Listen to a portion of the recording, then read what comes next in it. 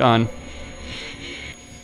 And that's the Yuggothian receptacle. So, the way I'm seeing it personally, uh, regards that, the way I'm seeing it, just so people understand, you need to, co- to come here, most likely, hit it from that side with the soldier. I did that here with Tyler.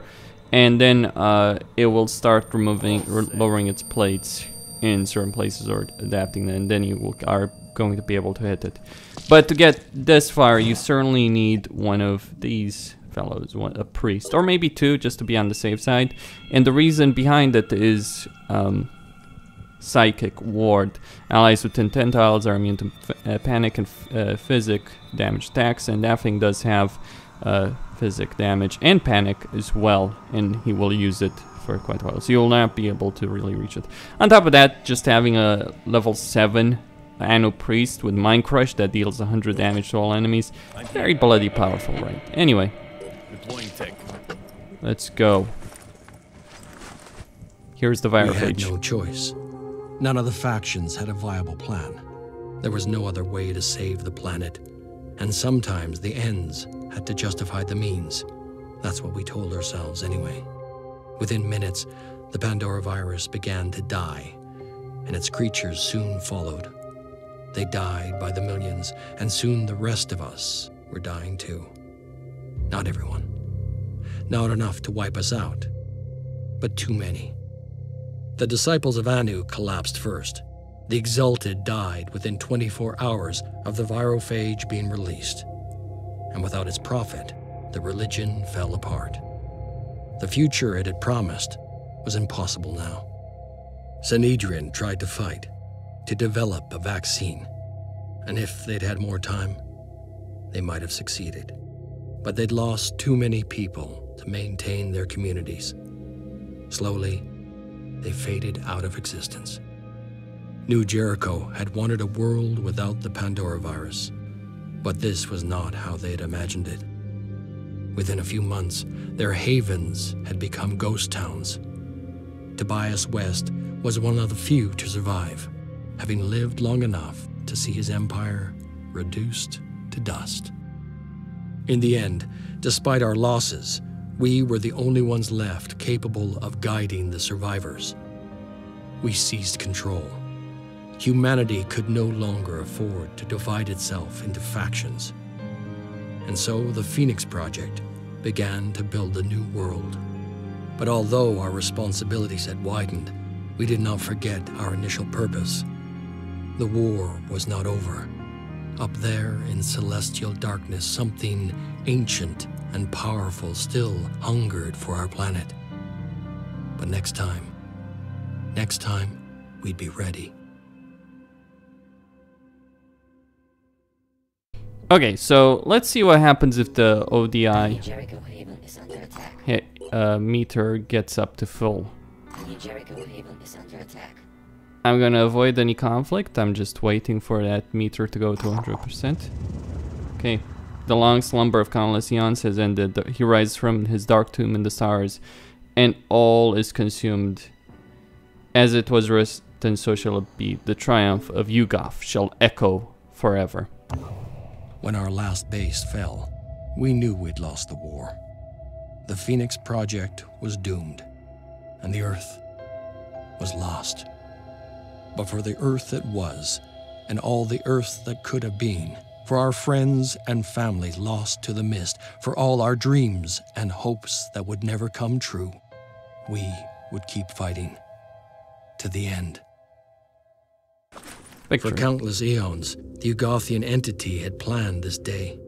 With the power to bend an entire ecosystem to its will, its triumph over humanity was inevitable.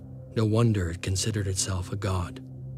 It knew that even if we defeated its armies, it could wait us out. Its real weapon was the Pandora virus, the ultimate terraforming tool. But there was one possibility it had never accounted for that we would seize that tool for ourselves. It was now that the real war began. The war to recreate the world according to human needs, to build a sustainable system that would allow the individual to flourish. There was no space for New Jericho in the new system, Synedrion could no longer make excuses. Coexistence was impossible. Tobias West was an honorable opponent, but he had to be destroyed. When she heard what Synedrion had accomplished, the Exalted proclaimed that the age of the dead god was over, and the disciples of Anu were dissolved. After that, she disappeared. It did not take long for her religion to be forgotten. Synedrion began to build the new world. Old species were revived, and new ones were designed. The age of scarcity was over.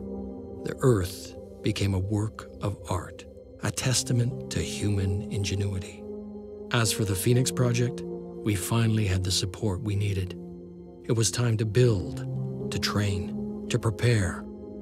Up there, in celestial darkness, something ancient and powerful still hungered for our planet. But next time, next time, we'd be ready. Okay, and thus ends.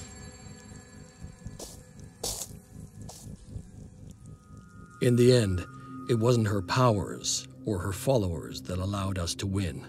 It was her humanity. An alien god spoke to her in her mind, and instead of being dominated or obliterated, she tricked him.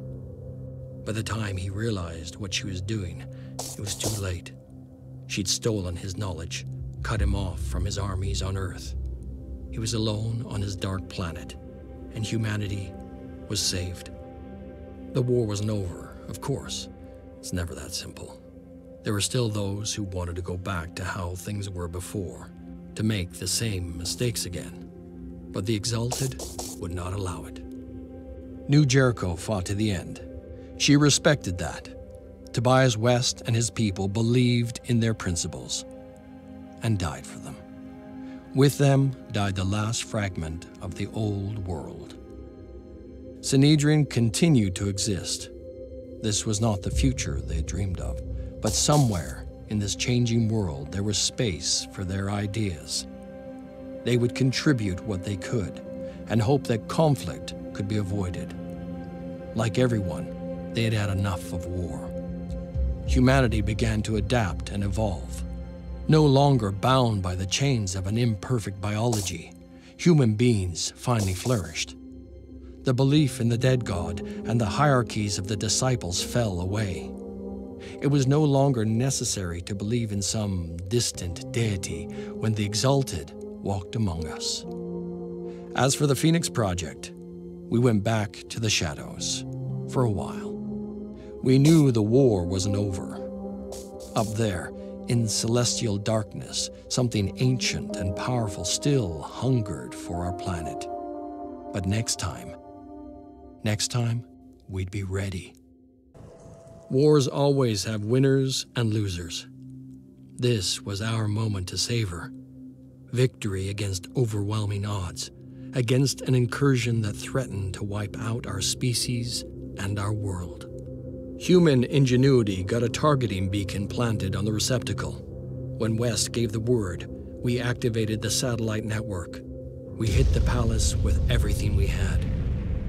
After that, the war became one we could win. New Jericho and the Phoenix Project in alliance, fighting to save humanity. Inch by inch, reclaiming the land and then the ocean. The enemy fought back, but wildly, incoherently, without strategy. They were beaten. Next, we had to deal with the infected. We rounded up those we couldn't save and quarantined them in vast camps, far away from the new cities. Anyone who didn't comply died. It was the only way. Synedrion objected, but in the end, they worked with us. The Anu cult resisted us at first, but as the prophecies of their misguided religion failed, they lost hope. They remain an insurgent threat, but one that we are determined to eliminate. There is no place for them in this new age. Much was achieved by one man's vision, but one man cannot shoulder the burden of the world. After the war, Tobias West forged new alliances and began to build a better system. There will be no nations in our future, just one people, humanity. determined to protect the rights of every individual to live free and in peace. As for the Phoenix Project, we finally had the support we needed. It was time to build, to train, to prepare. Up there, in celestial darkness, something ancient and powerful still hungered for our planet. But next time, next time, we'd be ready.